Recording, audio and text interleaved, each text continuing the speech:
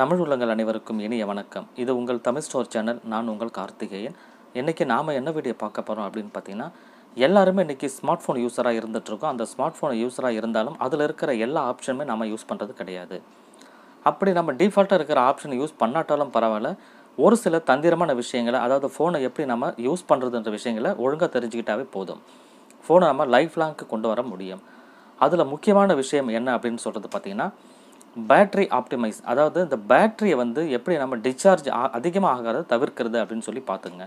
இது பொதுவாக எல்லாருக்கும் தெரிஞ்ச விஷயம் என்ன அப்படின்னு சொல்லி பார்த்தீங்கன்னா பேட்ரி வந்து அதிகமாக நம்ம சார்ஜ் போடக்கூடாது கண்டினியூவாக சார்ஜ் போட்டுகிட்டே இருக்கக்கூடாதுன்றது தெரிஞ்ச விஷயம்தான். அதாவது ஆரம்பத்தில் நான் வந்து ஒரு ஆறு மணி நேரம் எட்டு மணி நேரம் சார்ஜ் போட்டதுக்கு அப்புறமா அதுக்கப்புறம் சார்ஜ் பண்ணும்போது எந்த அளவுக்கு தேவையோ அதுக்கு மட்டும் நீங்கள் சார்ஜ் போட்டால் போதும். அதுவும் குறிப்பாக ஒரு டென் பர்சன்ட் அளவுக்கு சார்ஜ் குறையுது அப்படின்னு சொன்னீங்கன்னா அதுக்கப்புறம் நீங்கள் ஃபுல்லாக சார்ஜ் போட்டிங்கன்னா பெட்டர் நைட்டு ஃபுல்லாக ஒரே நைட்டில் ஓவர் நைட்டில் சார்ஜ் போட்டிங்கன்னா பேட்ரி வந்து வீக் ஆகி செல்லி ப்ராப்ளம் ஆகிறதுக்கு வாய்ப்புகள் அதிகம். அடுத்ததாக இன்னொரு ஆப்ஷன் என்ன பார்த்தீங்கன்னா முக்கியமாக ஆட்டோ ரொட்டேட் அப்படின்ட்டு ஒரு ஒரு ஆப்ஷன் இருக்கும். அதாவது என்னென்னா நம்ம மொபைல் ஃபோனை வந்து திருப்பி திருப்பி யூஸ் பண்ணுறது நீங்கள் வந்து ஒரு பிக்சர் பார்க்குறீங்கன்னா அது வந்து போர்ட்ரேட் மோட்லேயும் லேண்ட்ஸ்கேப் மோட்லேயும் தானாகவே மாறும் ரொட்டேட் ஆகும். அந்த ரொட்டேட் ஆட்டோ ரொட்டேட் அப்படின்றத நீங்கள் வந்து ஆஃப் பண்ணி வச்சிங்கன்னா சார்ஜ் அதிகமாகிறது கொஞ்சம் தவிர்க்கப்படும். அது இல்லாமல் சார்ஜ் கொஞ்சம் ஃபாஸ்ட்டாக உங்களுக்கு சார்ஜ் ஆகணும் சீக்கிரமாக சார்ஜ் ஆகணும்னு நினச்சிங்கன்னா முடிஞ்ச அளவுக்கு உங்கள் ஃபோனை வந்து ஏரோப்ளைன் மோடு அல்லது ஃப்ளைட் மோடில் வந்து நீங்கள் போட்டு வச்சுக்கோங்க.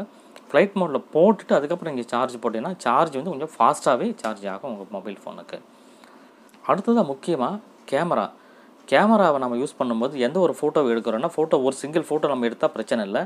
அதே நேரத்தில் கண்டினியூஸாக நம்ம வந்து நிறைய ஷாட் எடுக்கணும். கண்டினியூஸ் ஷாட் நம்ம எடுக்கணும் அப்படின்னு ஆசைப்பட்டிங்கன்னா உங்களுடைய வால்யூம் ராக்கர் கீயை வந்து ஒரு த்ரீ செகண்ட் அழுத்தி பிடிச்சிங்கன்னா ஒரு ஒரு மூணு செகண்டுக்குள்ளே ஒரு இருபது ஃபோட்டோ உங்களால் எடுக்க முடியும். அதை யூஸ் பண்ணி பாருங்கள் ஃபோனை நம்ம யூஸ் பண்ணுறோன்னு சொன்னால் சில பேர்லாம் வந்து ஃபோனை வந்து ஒன்ஸ் ஸ்டார்ட் பண்ணாங்க ஆன் பண்ணாங்கன்னு சொன்னால் கிட்டத்தட்ட அது மாத கணக்கில் ஃபோனை ஆஃப் பண்ணாமலேயே கண்டினியூ யூஸ் பண்ணிகிட்டே இருப்பாங்க.